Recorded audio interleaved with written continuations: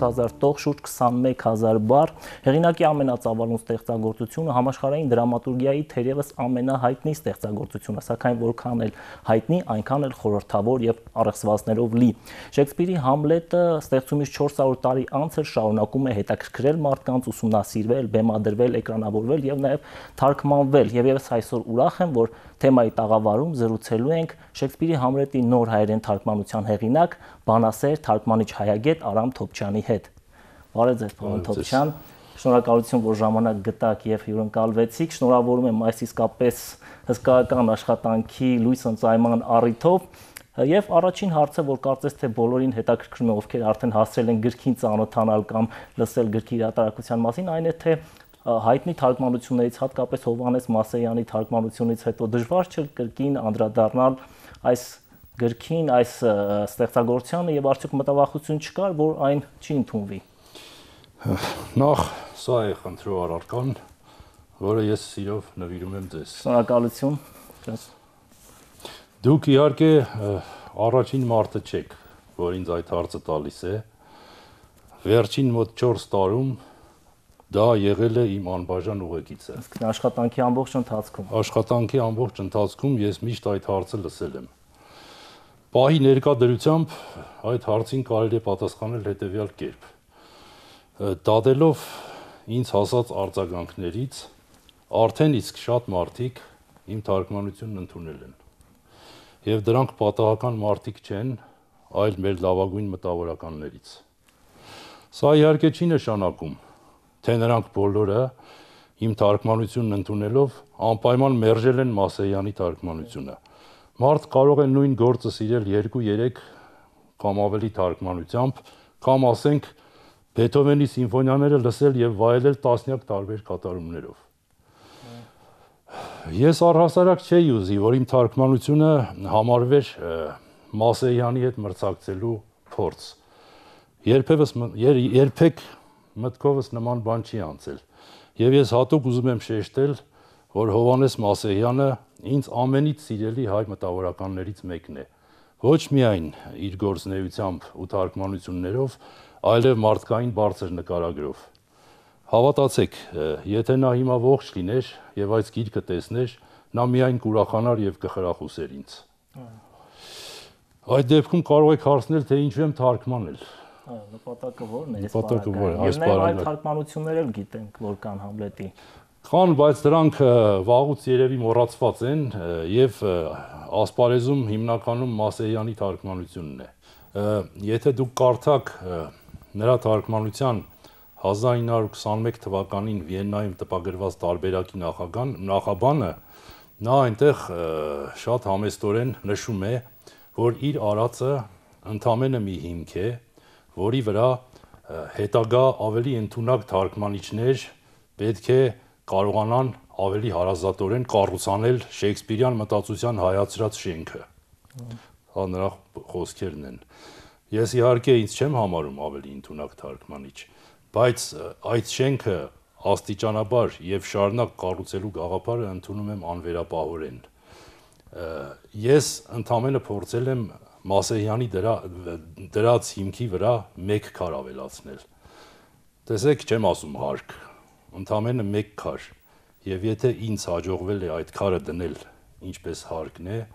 ես ինձ երջանիկ մարդ կհամարեմ։ Ուսանողական տարիներից ի վեր մեծ պահանջմունք եմ ունեցել Շեքսպիր թարգմանելու եւ Շեքսպիրի մասին գրելու։ Շեքսպիրի նման հեղինակի ներկայությունը մեր մշակույթում պետք է լինի հնարավորին չափ բազմազան։ Դրանից մենք միայն կշահենք։ Կա, ասենք, ռուսերեն Համլետի մոտ 30 թարգմանություն։ Կամ ասենք Ռոմեո Ջուլիետը եւ Լիր արքան մենք ունենք Խաչիկ Դաշտենցի եւ Հովանես Մասեյանի նաեւ ուրիշների թարգմանությամբ կամ Եղիշե Չարենցը ծայրեցայր խմբագրել է Մասեյանի թարգմանած Լիր արքան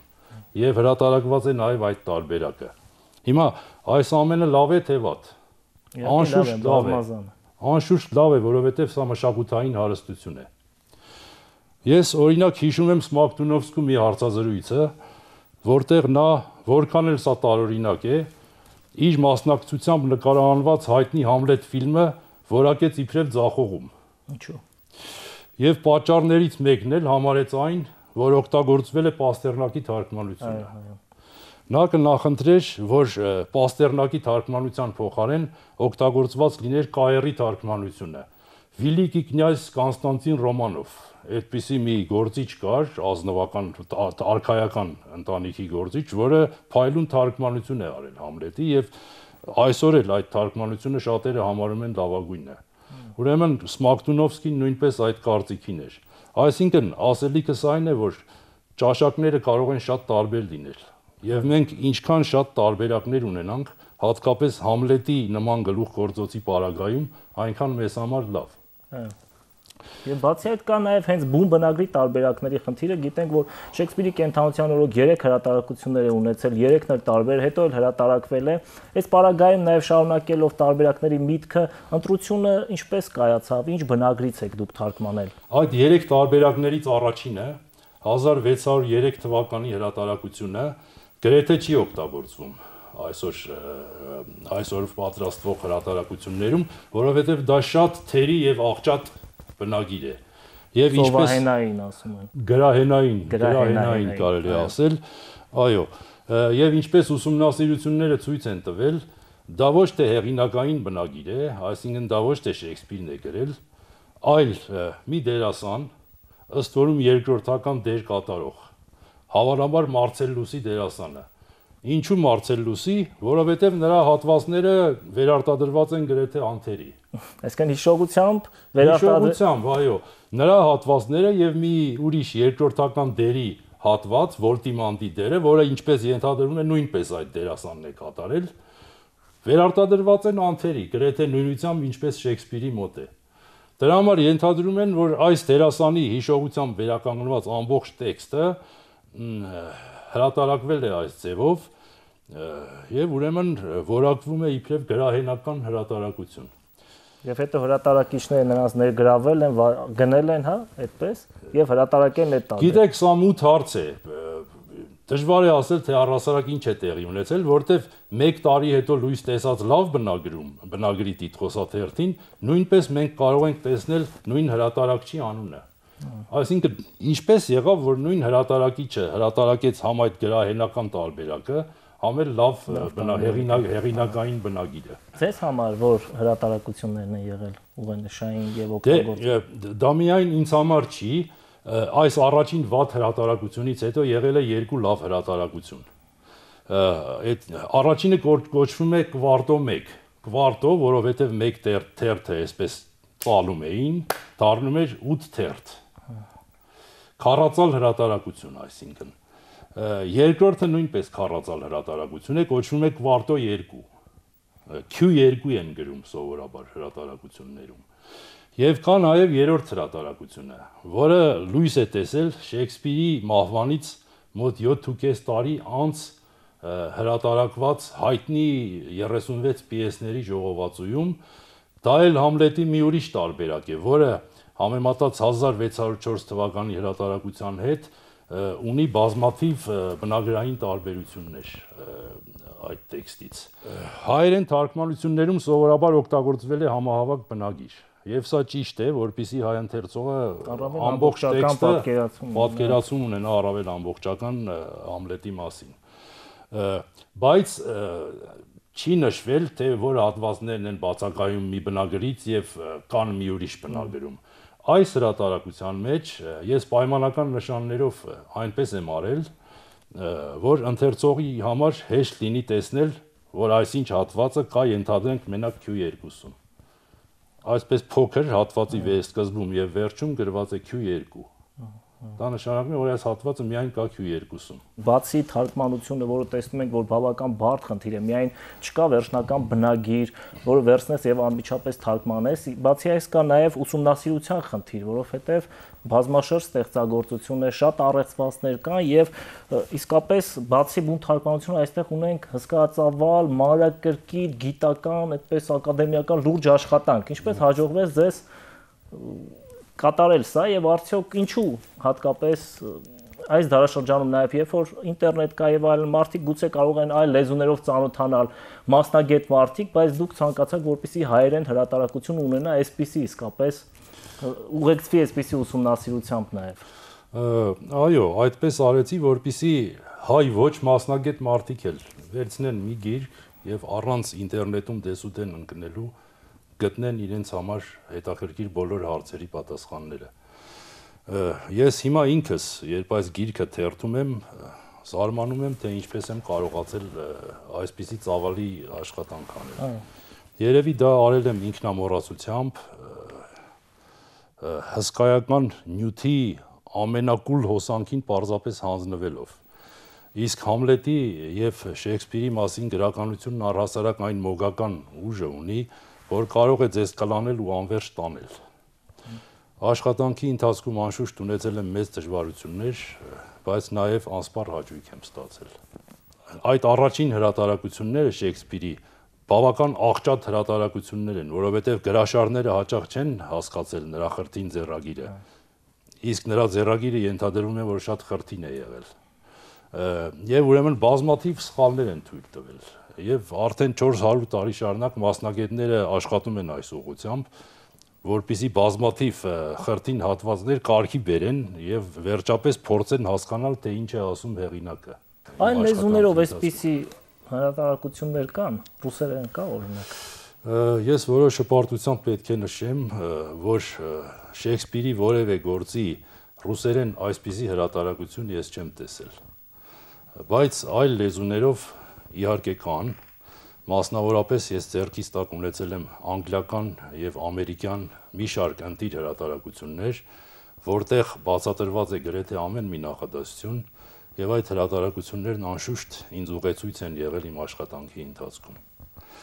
Համլետն առհասարակ շատ առեղծվածային գործ է։ Հա, ինքը Շեքսպիրը առեղծվածային կերպար է։ Շեքսպիրը դրա մասին էլ կխոսենք։ Այստեղ բացահայտումներ կան ընթերցողի համար ոչ միայն անդրադառնանք հիմա Համլետի առեղծվածայնության մասին խոսենք, հետո կանդրադառնանք հեղինակի առեղծվածայնությանը։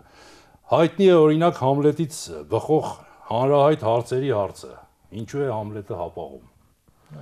Դուք չեք պատկերացնի այս հարցի շուրջը ստեղծված տեսությունների քանակը։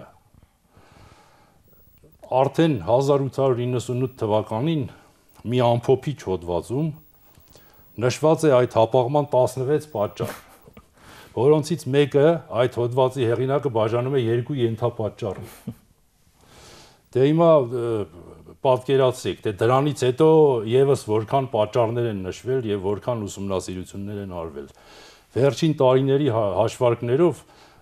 Համլետի մասին ստեղծվում է տարեկան մոտ 400 անուն հրատարակություն պատկերացրեք տարեկան մոտ 400 անուն։ Իհարկե դրանք կարող են լինել երկի հրատարակություններ, գրախոսականներ, ուսումնասիրություններ, հոդվածներ եւ այլն, բայց թիվը սարսափելի է։ Եվ բացի այդ հարցերի հարցից Համլետում կան նաև բազմաթիվ ուրիշ առեղծվածներ։ Օրինակ, ինչպես է լինում, որ Գոնզագոյի բեմադրության բեմադրությունից առաջ ցուցադրված մնջախաղի ընթացքում, որը նույն բովանդակությունն ունի, թակավորը որևէ կերպ չի արձագանքում այնտեղ կատարվածին։ Եվ նա միայն սարսափար տեղից վեր է թռչում բուն բեմադրության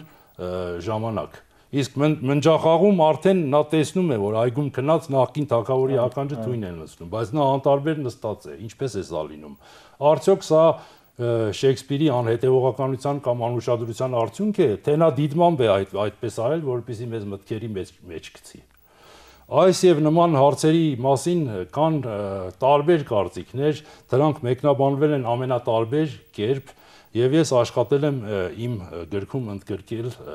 նման հարցերի վերաբերյալ ամենատարբեր մեկնաբանություններ, որpիսի հայ ընթերցողը կարողանա դրանց հեշտությամբ ծանոթանալ եւ ինքն էլ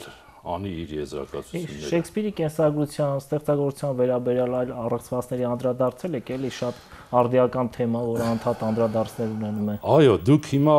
խոսում եք Շեքսպիրի անznավորության խնդրի մասին։ Դա իհարկե առանձին մեծ հարց է, որը չէր կարող այս գրքի մեջ ընդգրկվել, բայց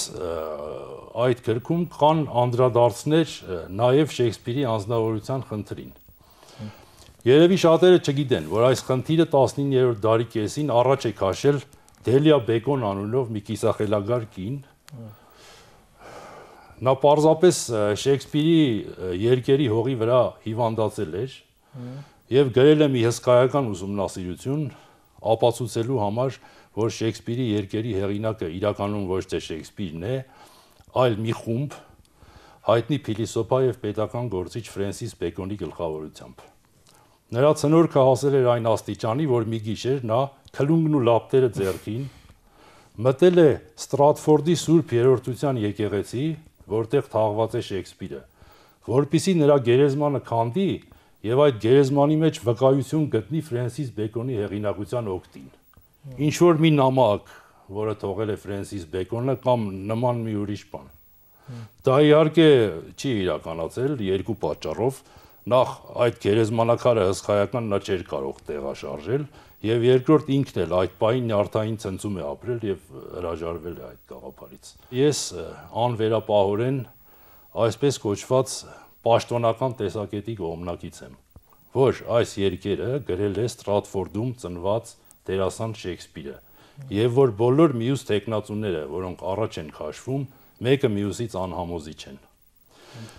Եվ Շեքսպիրի հեղինակության օկտին վկայություններ կան նաև հենց Համլետում եւ այդ եւ գրված է այդ գրքում այդ մասին։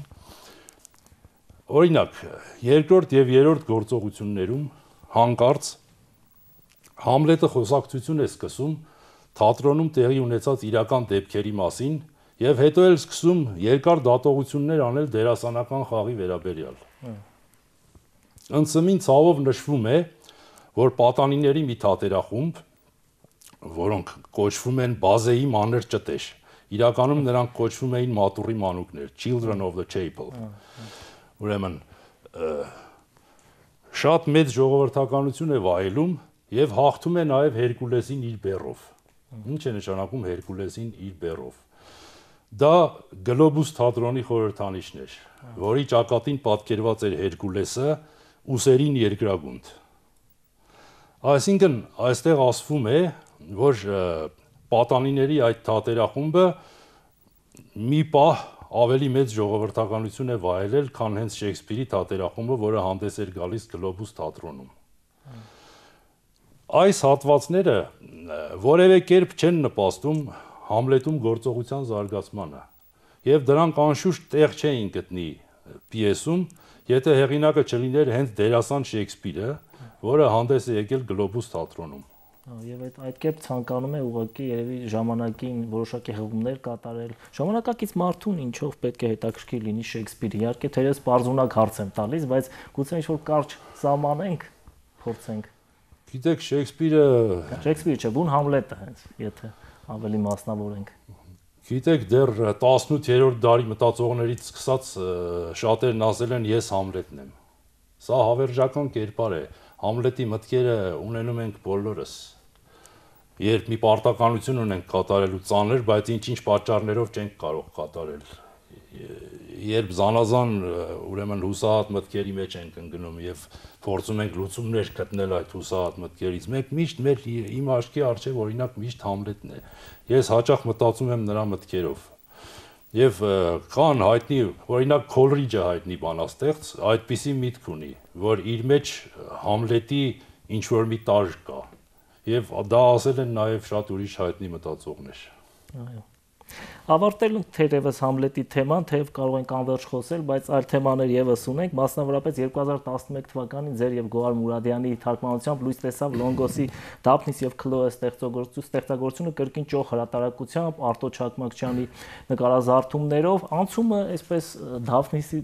եւ Քլոեից Համլետին շատ կտրուկ չէր, որովհետեւ այնտեղ հովերգական ստեղծագործություն ունենք հանգիստ ռիթմով, տրամադրությամբ Գիտեք ինչ է, ես առհասարակ որևէ կտրուկ տարբերություն չեմ տեսնում անտիկ աշխարհի եւ Շեքսպիրի միջև։ Նրանք սերտորեն կապված են իրար։ Երբ ես վերջերս բախտ ունեցա լինելու Աթենքում եւ կանգնած էի այսպես Դիոնիսոսի թատրոնում Ակրոպոլիսի տակ, որտեղ փաստորեն սկսվել է արևմտաեվրոպական թատրոնի պատկերացումը այն միտքն ունեցա, որ եթե այս թատրոնը չլիներ, եթե չլիներ Էսքիլոսը, չէր լինելու նաև Շեքսպիրը։ Շեքսպիրի պիեսները գալիս են անտիկ աշխարից, բազմաթիվ զուգահեռներ են նշվում նրա եւ Համլետի համատում են օրինակ Պլատոնի Ֆեդոնի հետ։ Համեմատում են զուգահեռներ են նշվում, ասենք նրա եւ Սենեկայի միջև եւ առհասարակ անտիկ աշխարհի միջև դուք եթե ուշադիր կարդաք Շեքսպիրի գործերը, այնտեղ միշտ հանդես են գալիս հունական աստվածներ, հռոմեական աստվածներ, հույն քաղաքական գործիչներ, հռոմեացի քաղաքական գործիչներ եւ այլն։ Այսինքն սրանք իրար սերտորեն կապված բաներ են։ Ինչ վերաբերում է Դաֆնիս եւ Քլոեին, ապա գաղափարը Սարգիս Խաչենց հրատարակչության տնորեն Սերգեյ Խաչիկօղլյանինն էր, իսկ այդ վեպը իր գունագեղ եւ գեղեցիկ աշխարհով լայն հնարավորություններ է տալիս նաեւ նկարազարդողին։ Այդ պատճառով նա մտածեց, որ սա կարելի է թարգմանել եւ նկարազարդել։ Գոհար Մուրադյանը եւ ես պատրաստակամորեն համաձայնվեցինք այդ գործն անել, որովհետեւ երկուսս էլ Լոնգոսի վեպը համարում ենք բոլոր ժամանակների ամենագեղեցիկ սիրավեպերից մեկը։ Սա մի երկ է, որտեղ ամեն մի տա պարբերություն լինի դա որևէ հովերգական տեսարան, լինի դա որևէ բնապատկեր կամ ասենք էրոտիկ դրվագ, գրված է բարձրագույն ճաշակով։ Այդ գիրքը կարդալը ծայրեցայր վայելք է։ Եվ եթե կան մարդիկ, որոնք դեռևս ձեռք չեն բերել այդ գիրքը եւ կարդացել, ես նրանց խորհուրդ եմ տալիս, որ դա անեն անհապաղ։ Այո թարգմանական որոշակի ծրագիր ունեք եւ ինչպես է ձևավորում այդ ծրագիրը, նաեւ այստեղից գուցե պետական ծրագիր պետք է լինի թարգմանական։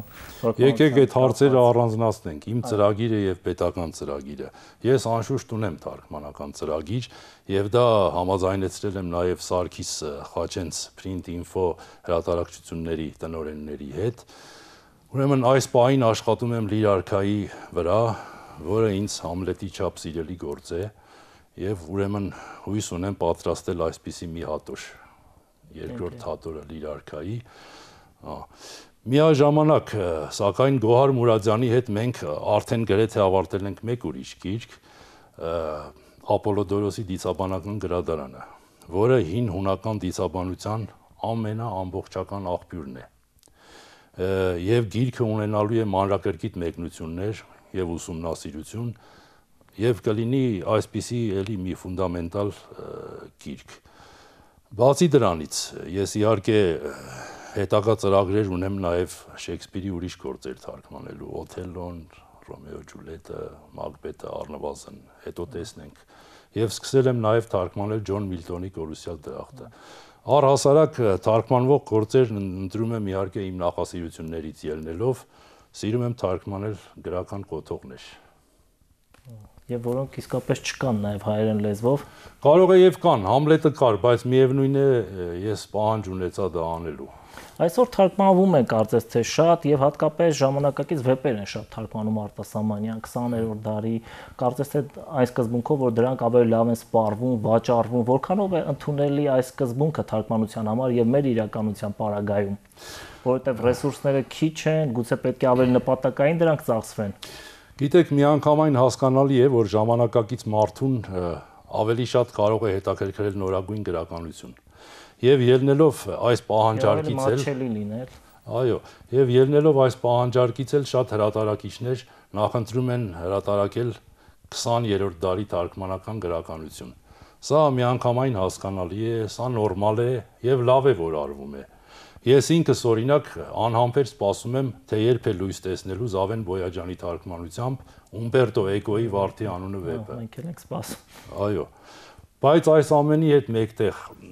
ես կուզեի, որ մի քիչ ավելի շատ ուշադրություն դարձվեր գրական այն սյուներին, որոնց վրա բոլոր ժամանակներում հիմնվել է բարձր մշակույթը։ Նկատի ունեմ ասենք Հոմերոսին, Վերգիլիուսին, Դանթեին, Սերվանտեսին, Ռաբլեին, Շեքսպիրին, Գյոթեին եւ ուրիշների։ Ուղղակի պարտադիր եմ համարում նման հեղինակների բարբերական վերահրատարակություններն ու նոր թարգմանություն, նոր թարգմանությունները, որովհետև առանց նրանց մշտական ներկայության մենք չենք կարող ունենալ բարձր մշակույթ։ Եվ դա պետք է արվի անկախ այն բանից,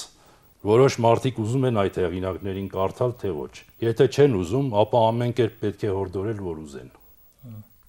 Պետական ծրագիր պետք է լինի այս առումով։ Նաև դուք պետական որոշակի աջակցություն տեսնում եք եւ ձեզ ձեր գրքերը այդ աջակցության աջակցությունից օգտվում եք այդպեսի աջակցություն։ Ես երբեք պետական աջակցությունից չեմ օգտվել Գիտեք, թարգմանական պետական ծրագիր լավ գաղափար է սա, բայց ես չեմ կարծում, թե ռեալիստական է։ Ես չեմ կարծում, թե մի օր մեր պետական պաշտոնյաները նստելու են եւ պետական ծրագիր կազմեն։ Նման ծրագրեր ավելի շուտ ունենում են առանձին մշակութային հաստատությունները եւ հրատարակչությունները։ Կա, ասենք, Սարգիս Խաչենց Print Info հրատարակչական ծրագիրը, որի շրջանակում հրատարակվում են հիմնականում իմացաբանական գրքեր, արվեստաբանական գրքեր, գրական կոթողներ եւ այլն։ Կամ ասենք, որոշակի ծրագրով է աշխատում Անտարես հրատարակչությունը, հրատարակելով հիմնականում 20-րդ դարի թարգմանական գրականություն եւ ժամանակակից գրողների երկեր։ Կամ Նայիրի հրատարակչությունը, որը մեծ մասամբ հրատարակում է հայ միջնադարյան գրականություն եւ այդ գրականության հետ կապված ուսումնասիրություններ։ Այսինքն մենք արդեն ունենք հրաշալի ծրագրեր պետության խնդիրը պարզապես պետք է լիներ այդ ծրագրերին օժանդակելը ավելի արդյունավետ ձևով, քան դա հիմա արվում է։ Կամ գոնե, եթե օժանդակություն չկա, գոնե գրահրատարակչական անշահութաբեր ոլորտում թեթևացվեր հարկային բեռը։ Ինչի նման է օրինակ, որ Print Info հրատարակչության տնօրեն Արամ Մեհրաբյանը հաճախ իր գրպանից վիթխարի ծախսեր է անում մշակութային արժեքներ հրատարակելու համար։ Եվ նա շատ լավ գիտի, որ իր արած այդ ծախսերը հետ չեն գալու ինքնազոհողությունն էլ պետք է չափուսահման ունենա։ Իհարկե թարգմանական խնդիրներից կարող ենք շատ խոսել, բայց ես ուզում եմ եւս մեկ կարևոր խնդրի մասին խոսալ։ Թարգմանությունը շատ ժամանակ եւ ջանք է խլում եւ ձեզ նաեւ փոկում է ձեր կարծես հիմնական զբաղմունքից, կամ զբաղմունքներից մեկից հայագիտությունից։ Գիտենք ձեր հայտնի ուսումնասիրություն նաեւ խորենացուն նվիրված, խորենացու հունական աղբյուրներին նվիրված։ Արդյոք ապագայում ժամանակ կունենաք կրկին ինչ որ ուսումնասիրություններ կատարելու կամ կատարում եք թերևս զուգահեռաբար։ Այո Գիտեք, ես չէի ուզի այս դեպքում օգտագործել խանգարել, կտրել կամ նման բառեր, որովհետև թարգմանությունները նույնքան կարևոր աշխատանք եմ համարում, ինչքան հայագիտական ուսումնասիրությունները։ Եվ նաև ավելացնեմ, որ ոչ, թարգմանությունները ինձ չեն կտրում հայագիտությունից։ Հենց այս պահին Գոհար Մուրադյանի հետ, որ պատրաստում ենք Ապոլոդորոսի դիցաբանական գրադարանը, այդ գրքի մեկնություններում կա նաև բավական հայկական նյութ որովհետև հայ միջնադարյան գրականության մեջ կան հունական դիցաբանության բազմաթիվ հիշատակություններ։ Բացի դրանից, ես բնագրեր եմ պատրաստում հայ մատենագիրք շարքի համար։ Հենց հիմա երկու բնագիր եմ պատրաստում եւ այդ բնագրերը ունենալու են նաեւ ուսումնասիրություններ։ Ունեմ գրած եւ կիսատ թողած որոշ գործեր, որոնք անպայման պիտի շարունակեմ։ Օրինակ Մովսես Խոյենացու ժամանակի մասին մի ուսումնասիրություն, որի զգալի մասը գրված է, մնում է այն իմի բերել եւ ավարտել։ Մենք հաճախ բավարարվում ենք միայն հայհոյելով այն մարդկանց, որոնք Մովսես Խոյենացուն տեղափոխում են հետագա դարեր, բայց սա հարցի լուծում չէ։ Կան հարցեր, որոնք պատասխան են պահանջում։ Այս ուղությամբ Ալբերտ Մուշեղյանի գիրքը արդեն որոշակի քայլ է Խորենացու դարը։ Խորենացու դարը, բայց աշխատանքը այդ ուղղությամբ պետք է շարունակել։ Ես նկատի չունեմ, որ եթե Խորենացին ոչ թե 5-րդ դարի, այլ որևէ հետագա դարի հեղինակ է, ապա սա անպայման մեծ խայտարակություն է մեզ համար։ Ոչ, պարզապես ըստ իս Խորենացին իր աշխարհայց աշխարհայացքով, իր կերպարով լավագույնս համապատասխանում է 5-րդ դարին եւ բոլորովին անհարիր է 8 կամ 9-րդ դարերին որտեղ նրան փորձում են տեղափոխել որոշ հայագետներ։